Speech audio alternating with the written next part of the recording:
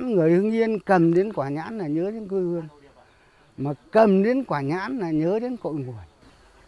Có những lần đói, nhưng mà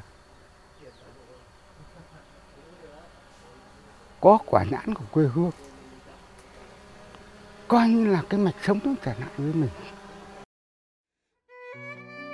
Cây nhãn có thể gặp ở khắp ba miền trên đất nước ta, nhưng nói đến quê nhãn, người ta nghĩ ngay đến đó là Hưng Yên. Tên của một loài cây đã trở thành thương hiệu của một vùng quê từ ngàn đời, quê nhãn, đất nhãn, xứ nhãn lồng.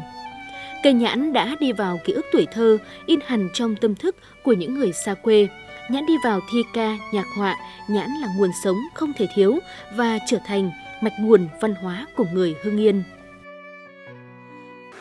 À, con gái Hưng Yên mắt đen hạt nhãn, con gái Hưng Yên thắt đáy lưng ong, con gái Hưng Yên hàm răng như ngọc, con gái Hưng Yên cũng rất kén chồng.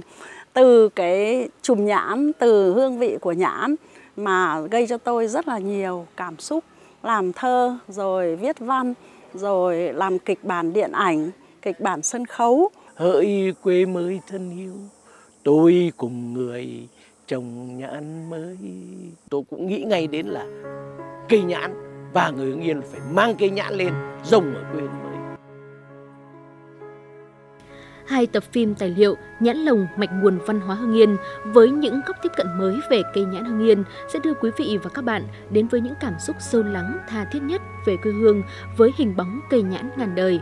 Ở đó là những cảm xúc chân thật nhất của người xứ nhãn ở khắp mọi miền về mạch nguồn văn hóa quê hương trong hình bóng cây nhãn quê nhà, là nơi mang đến nguồn cảm hứng sáng tạo tuyệt vời cho các văn nghệ sĩ tạo nên các tác phẩm để đời. Mời quý vị và các bạn đón xem hai tập của bộ phim tài liệu Nhãn lồng mạch nguồn văn hóa Hưng Yên sẽ phát sóng lần lượt vào lúc 20 giờ 20 phút chủ nhật ngày 23 tháng 8 và 20 giờ 15 phút thứ hai ngày 24 tháng 8 trên sóng Đài Phát thanh Truyền hình Hưng Yên. Chương trình cũng sẽ được đăng tải trên website hưng yên tv.vn, fanpage tin tức Hưng Yên 24 trên 7 và kênh youtube truyền hình Hưng Yên. Mời quý vị và các bạn quan tâm theo dõi.